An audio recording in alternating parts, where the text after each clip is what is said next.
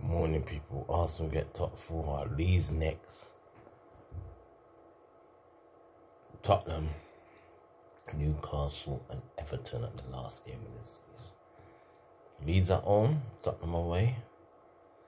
Newcastle away is tricky, and Everton will be fighting for their lives. If we can beat Leeds, Liverpool do us a favour. That'll make it five points if we beat Tottenham. Imagine we beat Leeds and Tottenham, top four. Job done. I want Liverpool to beat Tottenham, man.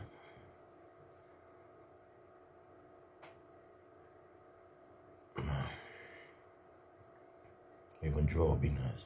Tottenham, I want Liverpool to ram them out. Anyway, we got Unai Emery, fantastic achievement.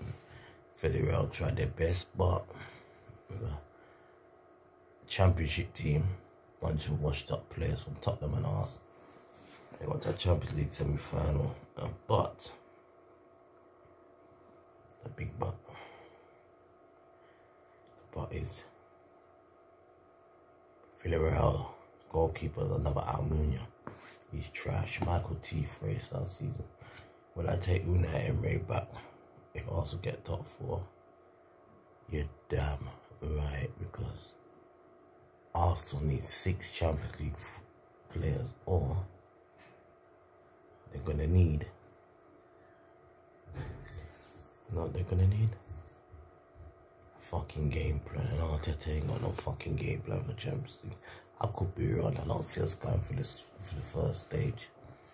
I see us getting cooked and cook real good. I'm happy.